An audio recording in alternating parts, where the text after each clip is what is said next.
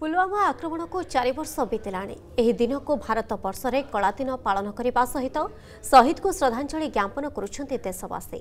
ଏହି ପରିପ୍ରେକ୍ଷୀରେ ବଜରଙ୍ଗ ଦଳ ପକ୍ଷରୁ ନେମାଳ ପଦ୍ମପୀଠରେ ଦୀପ ପ୍ରଜ୍ୱଳନ କରି ପୁଲୱାମା ଆତଙ୍କିତ ଆକ୍ରମଣରେ ଶହୀଦ ବୀର ଯବାନଙ୍କୁ ଶ୍ରଦ୍ଧାଞ୍ଜଳି ଜ୍ଞାପନ କରିଛନ୍ତି।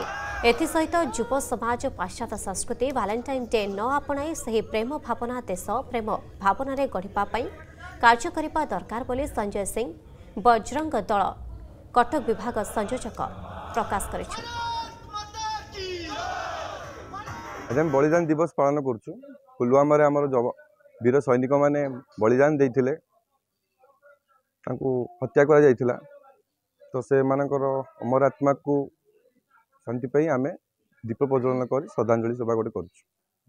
କଳା ମାନେ କଳା ଦିବସ କହିବାକୁ ଗଲେ ବଳିଦାନ ଦିବସ ଆମେ ପାଳନ କରୁଛୁ ଆଉ। ଉଦ୍ଦେଶ୍ୟ ଆମର କି ଯେଉଁ ଯବାନମାନେ ପଲୱାମାରେ ଶହୀଦ ହେଇଥିଲେ ତ ତାଙ୍କର ଆତ୍ମାର ସଦ୍ଗତି ନିମନ୍ତେ ଆମେ ଏଠି ତାଙ୍କ ପାଇଁ ଦୀପ ପ୍ରଜ୍ୱଳନ କରୁଛୁ।